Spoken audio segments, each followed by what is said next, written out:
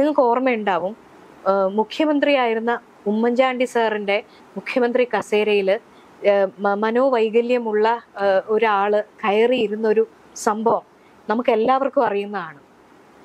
മുഖ്യമന്ത്രിയുടെ ഓഫീസിൽ കടന്നു കയറി അങ്ങനെ ഇരിക്കുന്ന ഒരാളെ ഏത് രീതിയിൽ വേണമെങ്കിലും സിസ്റ്റത്തിന് ട്രീറ്റ് ചെയ്യാം. മുഖ്യമന്ത്രിയെ എന്താണ് അപായപ്പെടുത്താൻ വന്ന ആളാണെന്ന് പറഞ്ഞ് ആ രീതിയിൽ വേണമെങ്കിൽ ഏത് എക്സ്റ്റെൻഡ് വരെയുള്ള നടപടിയിലേക്കും പോകാം. അയാൾ അതാണ് അയാൾക്ക് ചില ബുദ്ധിമുട്ടുകളുണ്ട്. അത് ഒരു മനുഷ്യനാണ് എന്നുള്ള ആ പരിമി ആ ആ ഒരു രീതിയിൽ ഉൾക്കൊണ്ട് അങ്ങനെയും ട്രീറ്റ് ചെയ്യാം. നമ്മളത് കണ്ടിട്ടുള്ളതാണ്. അപ്പോൾ വേണമെങ്കിൽ ഹിറ്റ്ലറുമാകാം. ഏറ്റവും മാനുഷിക മൂല്യം മുറുകെ പിടിക്കുന്ന ഒരു ഉമ്മൻചാണ്ടിയെ പോലുള്ള ഒരാൾ വേണമെങ്കിലും ആവാം. സരിന് ഇതിൽ എന്താകും എന്നുള്ളതിനെ കുറിച്ച് കഴിഞ്ഞ ഒന്നൊന്നര വർഷമായിട്ട് അയാളോട് ജോലി ചെയ്തിട്ടുള്ള ഒരാളെന്നുള്ള നിലയിൽ എനിക്ക് ഉത്തമ ബോധ്യമുണ്ട്.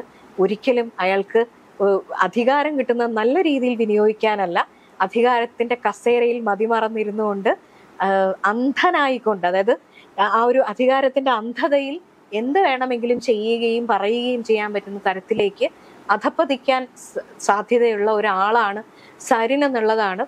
എന്റെ അനുഭവം എന്റെ അനുഭവത്തിൽ നിന്നുള്ള എന്റെ വിലയിരുത്തൽ. കാരണം ഈ കേൾക്കുന്ന പലരും ഏതാനും കുറച്ച് സമയം മാത്രം ഇദ്ദേഹത്തിന്റെ പ്രകടനം കണ്ട് വികാര വിക്ഷോഭങ്ങൾ കണ്ടിട്ടുള്ള ആൾക്കാരാണ്. ഈ വികാര വിക്ഷോഭങ്ങളുടെ എക്സ്റ്റെന്റുകളെല്ലാം നേരിട്ട് അറിഞ്ഞിട്ടുള്ള കുറച്ച് പേര് ഇതിനകത്തുണ്ട്. അവരാണ് പരാതിയുമായിട്ട് കെ പി സി സിക്ക് മുന്നിൽ പോയത്. അപ്പോൾ അതുതന്നെയാണ് എനിക്ക് പറയാനുള്ളത്. അധികാരത്തിനെ നല്ല രീതിയിൽ ഉപയോഗിക്കുന്ന ഒരാളായിരിക്കും സരിന് ഒരിക്കലും എന്റെ വ്യക്തിപരമായ അനുഭവത്തിൽ നിന്ന് ഞാൻ വിശ്വസിക്കുന്നില്ല. ഇന്നലെ വരെ ആയിക്കോട്ടെ ഷാഫി പറമ്പിലിനെയും അതുപോലെ തന്നെ രാഹുൽ മാങ്കൂട്ടത്തിലും എല്ലാ തരത്തിലുള്ള സോഷ്യൽ മീഡിയ സഹായങ്ങൾ ചെയ്തു കൊടുത്ത കാര്യം ഇപ്പോഴത്തെ തിരഞ്ഞെടുപ്പ് കാലം എന്ന് പറയുന്ന രാഷ്ട്രീയ പ്രവർത്തനം എന്ന് പറയുന്നത് പകുതിയും സോഷ്യൽ മീഡിയ തീരുമാനിക്കുന്ന ഒരു തരത്തിലേക്ക് എത്തിയിരിക്കുന്നു. കാര്യം ജനങ്ങൾ കാണുന്നത് കൂടുതൽ അറിയുന്നത് സോഷ്യൽ മീഡിയയിലൂടെ തന്നെയാണ്.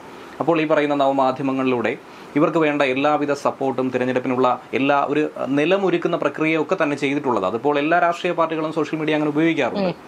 ഇങ്ങനെ ജയ് വിളിച്ച് നിന്ന സരിൻ ഇന്ന് അവരെയൊക്കെ തന്നെ പാടെ തള്ളി പറയുന്നു. ഒരിക്കലും ഒരു സുഹൃത്തുക്കളോട് പോലും ചെയ്യാൻ കഴിയാത്ത രീതിയിൽ പുറകിൽ നിന്ന് കുത്തുക എന്ന് പറയുന്ന ഒരു പ്രവൃത്തിയാണ് ചെയ്തിരിക്കുന്നത്.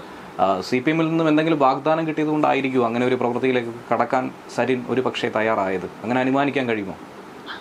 അല്ല തീർച്ചയായിട്ടും സരിന്റെ ആഗ്രഹം എന്താണ്? ഇപ്പൊ ഞാൻ ചോദിക്കുന്നത് പാലക്കാട് സീറ്റ് ഷാഫി പറമ്പിലിന്റെ അദ്ദേഹം ഏറ്റവും മികച്ച രീതിയിൽ എം എൽ എ എന്നുള്ള രീതിയിൽ കൈകാര്യം ചെയ്തിരുന്ന ഒരു സീറ്റാണ്. ഒരു പൊതു തെരഞ്ഞെടുപ്പിൽ പാർലമെന്റ് അംഗമാകാൻ വടകരയിലേക്ക് പോയി മത്സരിക്കണം എന്ന് പാർട്ടി നിർദ്ദേശിച്ചപ്പോൾ ആ നിർദ്ദേശം ഉൾക്കൊണ്ടുകൊണ്ട് മാത്രമാണ് ശ്രീ ഷാഫി പറമ്പിൽ അവിടെ പോയിട്ടുള്ളത്. അപ്പൊ സ്വാഭാവികമായിട്ടും പാലക്കാട് സീറ്റിൽ ഒരു ബൈ ഇലക്ഷൻ അല്ലെങ്കിൽ അവിടെ ബൈ ഇലക്ഷൻ വരേണ്ട സാഹചര്യം ഇല്ലല്ലോ. സ്വാഭാവികം രാഹുൽ മാങ്കൂട്ടത്തലിനെ പോലെ സംസ്ഥാന യൂത്ത് കോൺഗ്രസിന്റെ പ്രസിഡന്റ് കെ എസ് യു പ്രവർത്തകനായി പ്രവർത്തനം തുടങ്ങി. എൻ എസ് യു ഐയുടെ ജനറൽ സെക്രട്ടറി ആയിരുന്നു. കഴിഞ്ഞ കമ്മിറ്റിയിൽ യൂത്ത് കോൺഗ്രസിന്റെ സംസ്ഥാന ജനറൽ സെക്രട്ടറിയായി ഇപ്പൊ പ്രസിഡന്റ് ആയി